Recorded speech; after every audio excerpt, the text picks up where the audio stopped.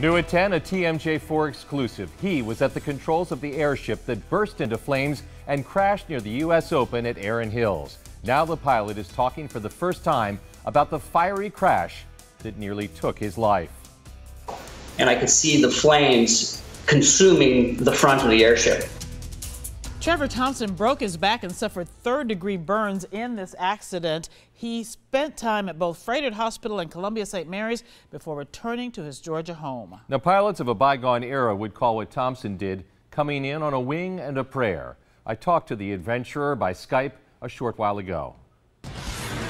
When you are flying lighter than air in a thermal airship and the vessel gives way above you, you have time to think. Yes, there was time to be scared. But Trevor Thompson, a calm possessor of that intangible quality known to pilots as the right stuff, didn't panic. He got ready. I remember seeing the ground come up, tightening my shoulder straps and bracing for impact, and then diving through the passenger side and trying to stand and realize my back was broken, kind of army crawled a few feet before my ground crew arrived and was able to pull me before it exploded. The June crash at Erin Hills wasn't Thompson's first harrowing lighter than air experience. He was forced into two other unplanned landings in recent years, one in Philly, the other on Long Island. I asked him if he would fly again, and after offering a lengthy explanation. But to answer your question directly, I love to fly.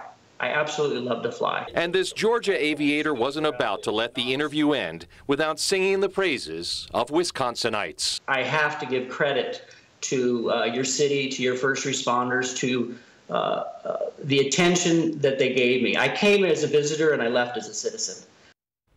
Trevor also had high praise for Froedtert Hospital, where he underwent back surgery, and Columbia St. Mary's Hospital, where he was treated for burns. He also encouraged all of us to support Kathy's House, essentially a hospital guest house here in Milwaukee, where families can stay while loved ones are hospitalized.